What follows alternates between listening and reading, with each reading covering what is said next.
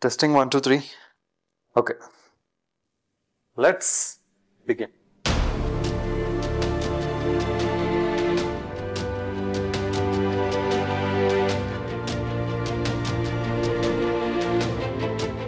A new race has begun. The race of space mirrors to capture solar energy. Now a plan to beam electricity electricity wirelessly from space to power millions of homes. The way it would work is pretty simple. Solar panels are, are placed on satellites. Photovoltaic panels have been used since the 1970s, but their adaptation around the world remains limited, this due to technical challenges and weather issues as well. Now, that's why scientists have been exploring the idea of capturing solar energy directly from space. Almost ప్రతి country వాళ్ళ వాళ్ళ శాటిలైట్స్కి పెద్ద పెద్ద మిర్రర్స్ని తగిలించి స్పేస్లోకి పంపించడానికి ready అవుతున్నాయి. And ఆ satellites night time sun నుండి వచ్చే లైట్ని ఎర్త్ మీద ఒక పర్టికులర్ లొకేషన్ పైన రిఫ్లెక్ట్ చేస్తాయి. అండ్ ఆ పర్టికులర్ లొకేషన్లో కొన్ని hundreds of thousands of solar panels ద్వారా ఈ సోలార్ ఎనర్జీని క్యాప్చర్ చేస్తారు these space mirrors help us to capture solar energy not only in the day but also in the night I mean these space mirrors can get us free electricity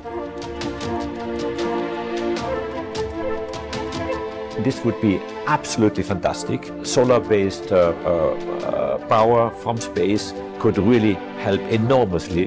And of course, the challenge with applying this to space based solar power is extending that scale and that power.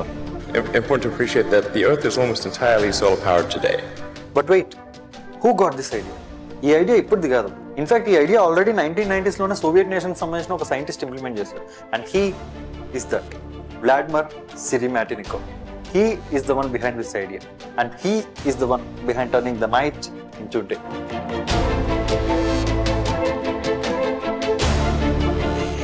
You're talking about something which is several miles across.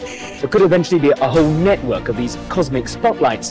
They will transform perpetual night into daylight.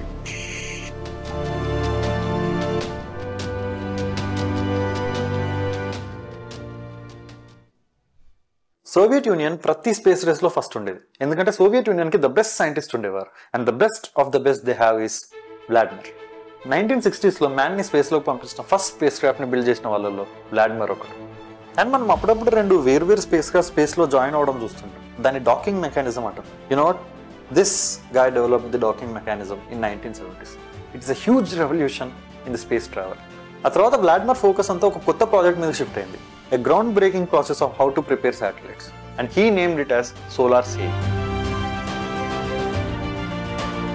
సింపుల్గా ఈ satellites ఎలా work అవుతాయో చెప్పాలంటే మనకి selling ships ఉంటాయి కదా. ఆ selling ships ఎలా అయితే విండ్ సహాయంతో వర్క్ అవుతాయి ఈ శాటిలైట్స్ కూడా సోలార్ విండ్ ద్వారా వర్క్ అవుతాయి. These satellites work with the momentum of the light coming from the sun ఒకవేళ ఈ ఐడియా కనుక సక్సెస్ అవుతే అసలు ఫ్యూయల్ సహాయమే లేకుండా కంటిన్యూస్ థ్రస్ ప్రొడ్యూస్ చేసే శాటిలైట్స్ని తయారు చేయొచ్చు. అండ్ చాలా తక్కువ ఖర్చుతో చాలా లైట్ వెయిటెడ్ శాటిలైట్స్ని తయారు చేయొచ్చు. And Vladimir convince that they would one day revolutionalise the space travel but Soviet government ఈ ప్రాజెక్ట్కి అప్రూవల్ ఇవ్వలేదు. బికాస్ ఆ టైంలో సోవియట్ గవర్నమెంట్ ఫోకస్ అంతా మిలిటరీ అండ్ ఎకనామిక్ పవర్ పైన ఉండేది. They don't want waste money for the space travels అప్పుడు Vladimir ఏం చేస్తే గవర్నమెంట్ ఈ ప్రాజెక్ట్కి అప్రూవల్ ఇస్తుందని ఆలోచించడం స్టార్ట్ చేశారు and then he found the solution most of the Soviet Union northern latitudes పైన ఉండేది. సో డే లైట్ అనేది చాలా తక్కువ టైం ఉంటుంది సోవియట్ యూనియన్ పైన. అండ్ వింటర్స్లో కొన్ని సిటీస్ పైన జస్ట్ కొన్ని అవర్స్ మాత్రమే డే లైట్ ఉండేది. వ్లాడ్మర్ ఈ లూప్ హోల్ని తనకు అనుకూలంగా వాడుకున్నాడు. తన సోలార్ సెల్లో ఉండే మెటీరియల్ని ఒక రిఫ్లెక్టివ్ షీల్తో చేంజ్ చేశాడు. సో ఇప్పుడు ఆ సోలార్ సెల్ సన్ లైట్ నుండి వచ్చే మూమెంటం యూజ్ చేసుకొని వర్క్ అవడంతో పాటు ఆ సన్ తిరిగి ఎర్త్ మీదకి రిఫ్లెక్ట్ చేస్తుంది. I mean this is insane. This is how he got an idea of turning the night into day.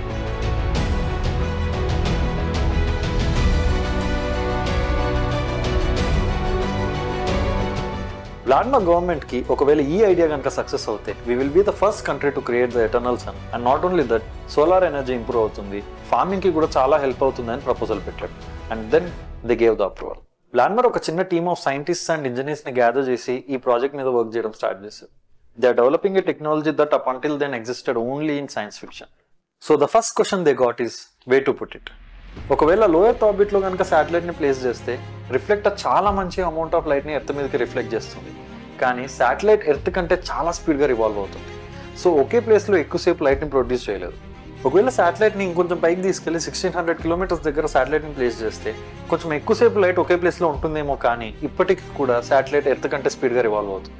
And ఆ రిఫ్లెక్ట్ అయిన లైట్ కూడా చాలా తగ్గిపోతుంది. ఒకవేళ ఆ శాటిలైట్ ఎర్త్తో పాటు రివాల్వ్ అవుతూ ఒకే ప్లేస్లో లైట్ని కంటిన్యూస్గా రిఫ్లెక్ట్ చేయాలంటే ఆ శాటిలైట్ని థర్టీ ఫైవ్ థౌసండ్ కిలోమీటర్స్ పైన ప్లేస్ చేయాలి. బట్ అంత పైన ప్లేస్ చేస్తే ఆ శాటిలైట్ కొంచెం లైట్ని కూడా రిఫ్లెక్ట్ చేయలేదు.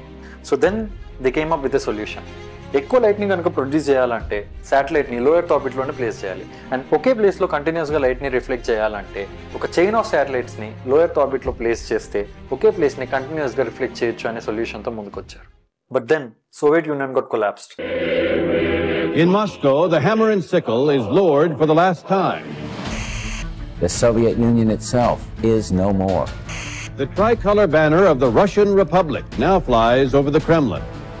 Soviet Union కొన్ని చిన్న చిన్న నేషన్స్గా డివైడ్ అయిపోయింది అండ్ కొత్తగా ఫామ్ అయిన రష్యన్ గవర్నమెంట్ ఫైనాన్షియల్గా చాలా వీక్గా ఉంది బట్ వ్లాడిమిర్ ఒకవేళ మన ప్రాజెక్ట్ కనుక సక్సెస్ అవుతే మన కంట్రీకి చాలా వెస్ట్రన్ ఇండస్ట్రీస్ నుంచి ఫండింగ్ వస్తుంది అండ్ ఎకనామిక్ గ్రోత్ ఉంటుంది అని చెప్పి మళ్ళీ ఈ ప్రాజెక్ట్కి అప్రూవల్ తీసుకున్నాడు.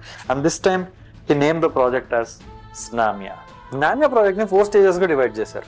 ఒక్కొక్క స్టేజ్ అయ్యే కొద్దీ రిఫ్లెక్టర్ సైజ్ని ఇంక్రీజ్ చేసుకుంటూ పోతారు. And the first three will be the prototypes and the last one will be the main project ఇలా ఎందుకు చేశారంటే ఒక్కొక్క స్టేజ్ సక్సెస్ అయ్యే కొద్దీ ఇన్వెస్టర్స్ ముందుకు వచ్చి ఇన్వెస్ట్ చేస్తారనే థాట్తో ఇలా చేశారు. ఎందుకంటే ఇది అంత చిన్న ప్రాజెక్ట్ ఏం కాదు ఒక శాటిలైట్తో అయిపోవడానికి. ఒక చైన్ ఆఫ్ శాటిలైట్స్ని ఎర్త్ చుట్టూ ప్లేస్ చేయాలి. And they need more funding and finally on October nineteen nineteen ninety two the first prototype was launched on to the space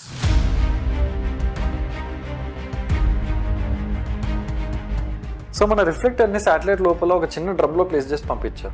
and మన శాటిలైట్ స్పేస్లోకి వెళ్ళంగానే అక్కడ దగ్గరలో ఉన్న ఒక స్పేస్ స్టేషన్కి డాక్ అయింది అండ్ ఆ స్పేస్ స్టేషన్లో ఉన్న సైంటిస్ట్ మన శాటిలైట్ లోపల ఉన్న డ్రమ్ని ఓపెన్ చేసి మన శాటిలైట్కి ఫిక్స్ చేసి మన రిఫ్లెక్టర్ని టెస్ట్ చేయడం స్టార్ట్ చేశారు. And finally on February fourth nineteen ninety three మన శాటిలైట్ని అన్డాక్ చేసి దాని పొజిషన్లో ప్లేస్ చేసి రిఫ్లెక్టర్ షీట్ని ఓపెన్ చేయడం స్టార్ట్ చేశారు. And thereby Znamya two point O is a success February fourth nineteen ninety three early morning ఒక స్ట్రేంజ్ లైట్ బీమ్ యూరోప్ నుండి పాస్ అవుతూ వెళ్ళింది five kilometres range and eight kilometres per second స్పీడ్తో ఈ light earth మీద నుండి pass అవుతూ వెళ్ళింది and soon Znamya project got worldwide attention Two hours ago, two large stars appeared over southern England. The first, Mir, 225 miles high, and the second, Zanamia, the mirror, hanging in space, waiting to be unfurled. For the remnant of the Russian space industry, just about the last hope of glory.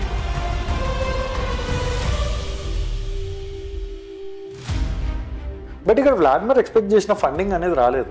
But ఎలాగోలో ఇంకొక ప్రోటోటైప్ని launch చేద్దాం. ఈసారి ఖచ్చితంగా funding వస్తుంది అని గవర్నమెంట్ని అడిగి అడిగి లాస్ట్కి సెకండ్ ప్రోటోటైప్కి నైన్టీన్ నైన్టీ ఎయిట్లో అప్రూవల్ తీసుకున్నాడు.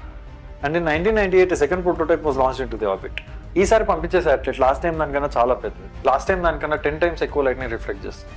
And it is remotely control to pivot the light on a given area same first prototype లానే ఈసారి కూడా మన శాటిలైట్ అక్కడ స్పేస్ స్టేషన్కి డాక్ అయ్యి అక్కడ టెస్టింగ్స్ అన్ని కంప్లీట్ చేసుకోవాలి. అండ్ ఇదంతా అవడానికి చాలా టైం పడుతుంది. అండ్ ఇదంతా అయ్యే గ్యాప్లో మన వ్లాడిమర్ జామియా త్రీని కన్స్ట్రక్ట్ చేయడం స్టార్ట్ చేశారు which has seventy metres wide reflector and on February fifth nineteen ninety nine మన శాటిలైట్ స్పేస్ స్టేషన్ నుండి అన్డాక్ అయ్యి దాని పొజిషన్లో రిఫ్లెక్టివ్ షీట్ని ఓపెన్ చేయడానికి రెడీగా ఉంది. అండ్ ఈసారి ప్రపంచంలో ఉన్న న్యూస్ ఛానల్స్ అన్ని రష్యాకు వచ్చి అక్కడ స్పేస్ స్టేషన్లో వ్లాడిమర్ టీంతో పాటు ఈ అద్భుతాన్ని ప్రపంచానికి చూపించడానికి రెడీగా ఉన్నాయి. But there is an error in the program this time and ఆ ఎర్రర్ వల్ల మన శాటిలైట్ రిఫ్లెక్టివ్ షీట్ని ఓపెన్ చేయలేకపోయింది. చాలాసేపు ఆ ఎర్రర్ని కరెక్ట్ చేయడానికి ట్రై చేశారు but it didn't work and in a blink of an eye Znamya two point five had been